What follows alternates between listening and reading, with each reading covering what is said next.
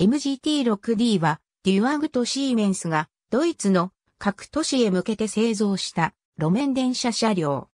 車軸が存在しない自動操舵式独立回転車輪付き台車の IF、台車を用いることで車内の約50から70%が低床構造となっているデュワグ及びシーメンス発の超低床電車である。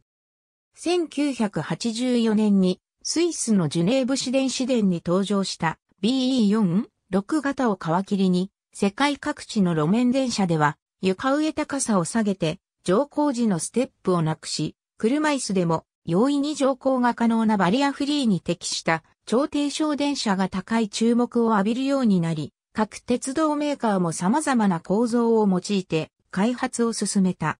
その中で西ドイツのデュワグとシーメンスが展開したのが、口述するイフ台車を用いた車体の大部分が低床構造となっている MGT6D 型である。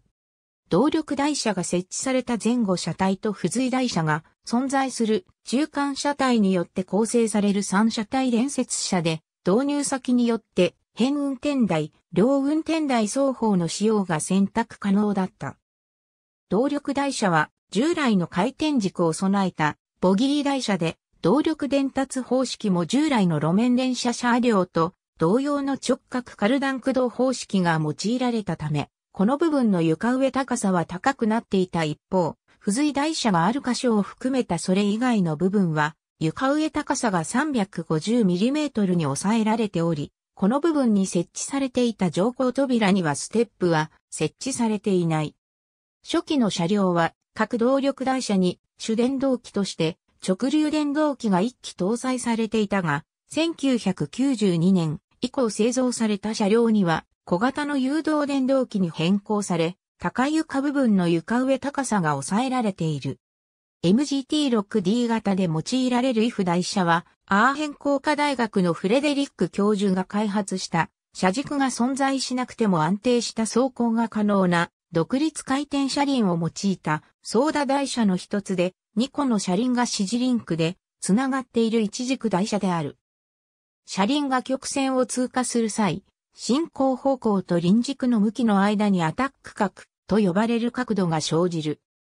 このままだと車輪がレールの上に乗り上げ脱線してしまうが、if 台車は車輪の回転中心をレールとの接触点からずらし、車輪のラジアル方向でレールの外側に設定しているため、その周りに車輪の位置を保つ復元モーメントが働き、自動的にアタック角が減少するよう車輪が操舵される自己操舵性を有する。それぞれの車輪の外側にはディスクブレーキが装着されている。この if 台車は水平曲線半径15メートルまでの急曲線が走行可能となっているが、その一方で設計最高速度は時速 70km 前後に制限されており、ライトレール向けの台車として位置づけられている。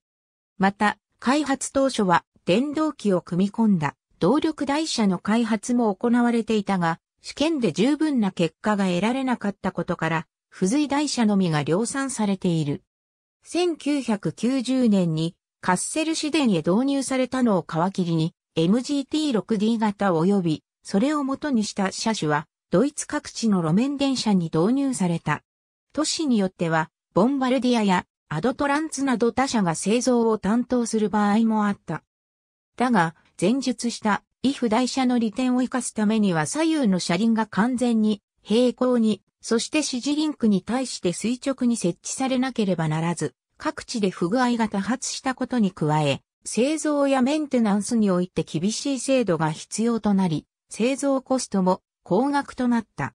さらに、強度の面にも難があり、2015年には、ボーフム、ゲルゼンキルヒエンシデイで経年劣化による車軸の破損が発生した。そのため、ボンやデュッセルドルフに導入された車両については、IF 台車とは異なる一軸台車が用いられた。MGT6D 型及びその派生形式の導入都市は以下の通り。別都市への譲渡が実施された車両については、備考、参考欄に記す。ありがとうございます。